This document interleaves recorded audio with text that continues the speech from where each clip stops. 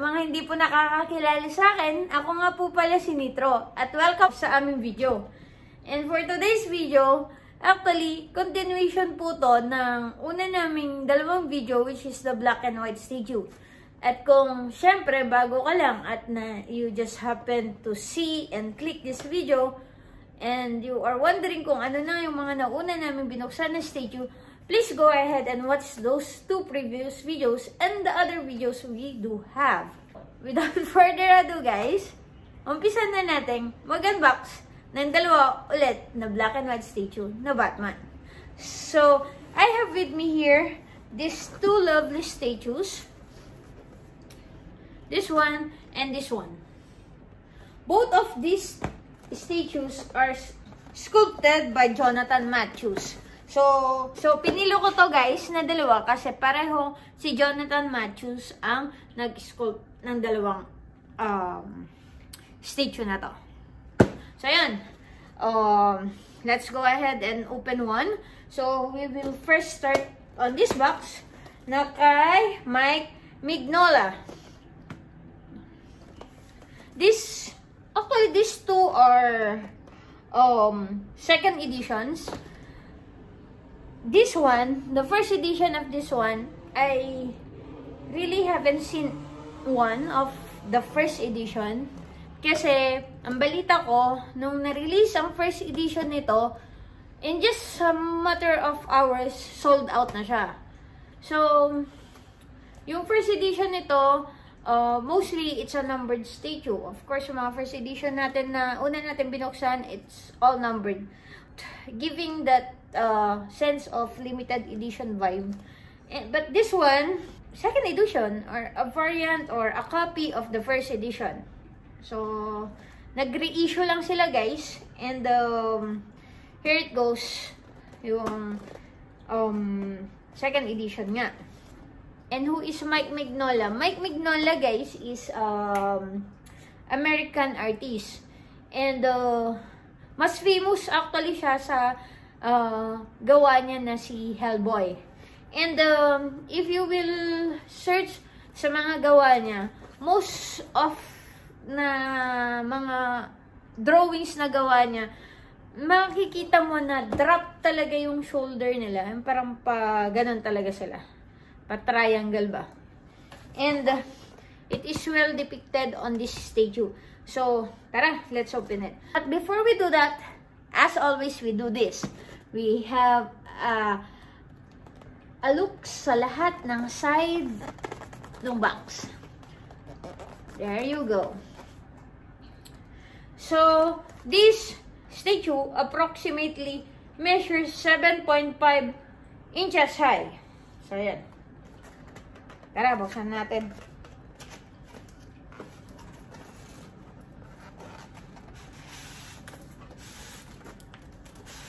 Still come with a foam.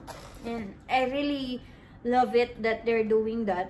Dahil, dahil nga, fragile to. Hindi to yung um, statue na gawa ng vinyl, ganun. So, dapat lang nailagay nila sa foam.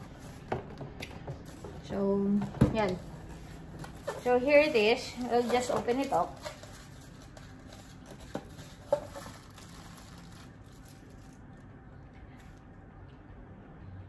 Which is weird.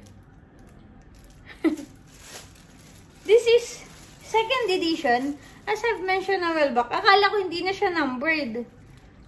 Kasi, feeling ko lahat ng numbered is first edition lang. But I'm wrong. This, this actually is numbered. It's, is it 2,102 or 202? I'm not so sure. I think it's 2,102 of 5,200. This is S15, so 2015. Really, I'm I'm surprised na numbered siya.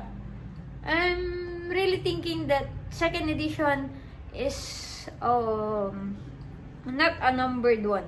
But tada, it's a numbered one. So, yan. Na tayo sa statue. Hanggang ngayon, surprise pa rin ako dun. I don't I don't know. I'm, I'm really shocked about this. Na numbered siya. Because, uh, few of my friends are telling na hindi na siya numbered. So, is there a third edition of this? Or is there... I don't know. I'm not sure. Not really sure. But I'm so sure this is authentic. Baka hindi authentic yung sa kanila. But I don't think they will buy something that is not authentic as well. So, yun. And they're also telling that their my one is correct. Weird. Bak I don't know, guys. Kasi sabi nila, yung sa kanila, ito, tong batarang na to, as you can see, yan. Yung sa kanila, it is, um, is, uh, it is placed upside down. Yung, itong head, yung nasa ulo. And then, the, basta baliktad nito. Yan. Nakikita nyo. Paano ko ba ipapakita? Ah, di ba ganyan yan? Yung sa kanila, baliktad. Itong head, yun yung nakadikit. So, if that would be the case, um, it would be like, uh, there's no use of it. Kasi ito, ginagawa niyang grappling hook niyan to. Eh, kung baliktad, how, it's not really a grappling hook kasi hindi siya makaka-grab. On my statue, as you can see, tama yung pagkakalagay. So, yeah. Galing. Yung akin tama, yung sa inyo mali. I don't know what happened. And, I don't even know why it has a number. Siguro may third edition or, is there? Or may ibang set na second edition at merong set na walang walang number. Well, maybe I'm just a lucky person. I have the statue numbered and the grappling hook is uh, put correctly. Attached correctly. Well, never mind. Let's just go ahead with this one. So, ito yung sinasabi ko guys na na kwan ni Mike, Mike, Mike Mignola. Yung, yung mga drawings niya, puros pa ganyan yung, ano yun, yung parang nakadrop siya. This is his um, signature. Signature sa mga, sa mga kanya, sa mga drawings niya. And those, uh, tiny lines na makikita nyo. Yan. Saan ba yung camera ng cellphone na to? Yan. Yung mga lines na yan, Mike Mignola yung mga yan. According to my friend who also bought this one and who happened na naka nakakita ng first edition nito kasi honestly hindi, hindi ko alam hindi ako nakakita ng first edition I didn't even search the web for this yeah I don't know why I should have searched it para kahit pa paano may input naman ako sabihin sa inyo, ba? Pero ayun nga, binigyan naman niya ako ng input. Sa first edition daw, mas malaki daw yung bat nito at hindi ito hindi ganito yung bat symbol sa chest niya. Which I don't know. Uh, I find that symbol okay sa statue na to. It's cool, it's it's it's nice. It's very unique in the sense na para talaga siyang um, statue na drawing. Parang nag-pop out lang. Parang, ano ba yan? Two dimension, three dimension, four dimension. O, yan nga. Para siyang 2D, 3D, 4D, whatever dimension it is. Para siyang ganon. Para siyang drawing tapos bigla na lang nag-pop out sa paper. And I love it. I actually like it. I like also the design at the back na super straight then mag mag-flare siya na pag ganun find it cool. Um, oh my God! Ayun lang. Kaya sabi ko parang may nahulog ako. Shucks. This is what I really hate about kind of statue, yung cold cast porcelain. I don't know, maybe I am just really hard on handling things or what. But, you see, I, na, na, ko, nagkaroon ng chip dyan. And anyway, it's a very nice statue. Um, you can say it's a weird pose, but This really show uh, the way Mike Mignola draw his Batman in comic books. It's really nice, actually. So, we'll just let him stand on this base. There you go. Amazing, right? I love it. I really love this one. And, uh, I, I do hope na nakakuha din ako ng first uh, edition. But, yeah, it's kind of too late for me to hope for that. And the first edition is really, really pricey, sabi nga nila.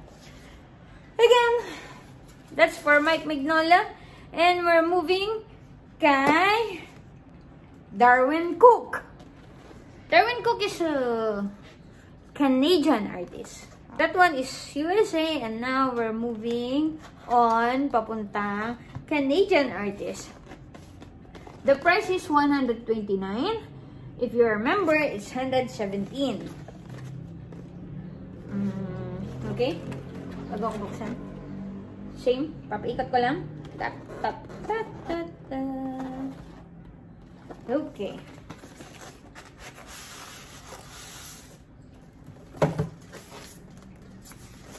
Oops! Ah, ah, ah. Nakala ko nahulog ko na. Buti na lang, mga silika dyan lang nag nagsihulugan. Here you go. Oh! Okay. Di ba sabi ko same? Uh, second edition. But this one, guys, is in fact, wala talaga, this one is also second edition. But this one, wala siya, hindi siya numbered. And yung peg stand niya is circular. Unlike those first five na nabuksan ko, all of their pegs are all square type. Ito, circular na. Circular type na siya. Ayan.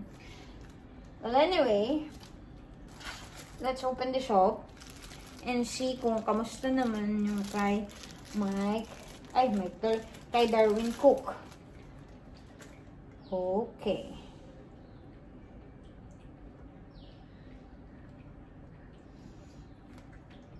It's very nice. It's like Batman is uh, looking up. It's a different take from Mike Mignola.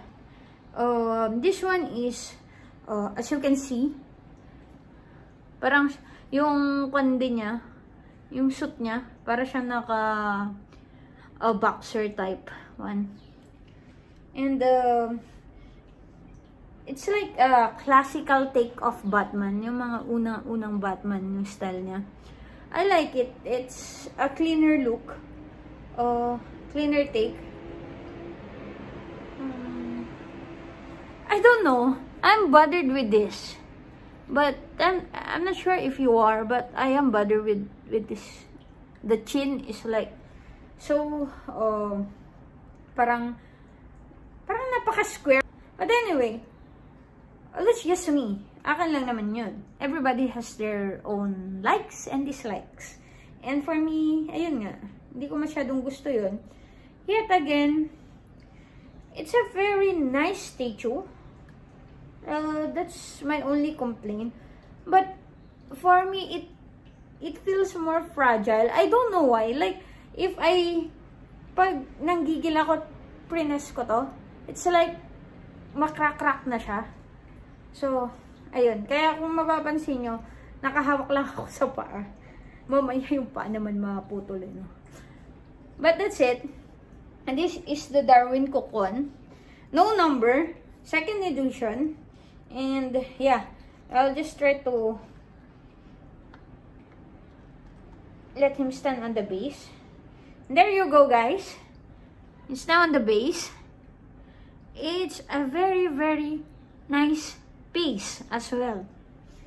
So, ito na yung dalawang nabuksan natin. Ito kay Mike Mignola and this one is kay Darwin Cook. So, kanya-kanya silang style but both of them are incredibly nice statues. And thanks to Jonathan Matthews for sculpting a very, very, really very nice statue. So, kung kayo ako, ano mas gusto nyo? I don't know, but a lot of people are really into this one. Maybe it's really um, a different take din kasi. But I also like this one. So, well, anyway, lahat naman eh. Gusto ko basta Batman, di ba?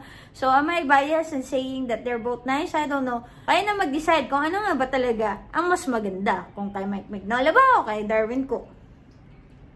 Maniwala kayo. Kung Batman collector kayo, pareho silang maganda. And you want them both sa collection nyo. Ayun guys. That is where I end this video. And thank you po sobra sa nanonood ng video ko. At kung hindi ka pa isa sa aming subscriber, please do subscribe, like, comment, and share sa aming mga videos. And see you again sa next na unboxing natin, guys. Until next time, this is Nitro. Bye-bye.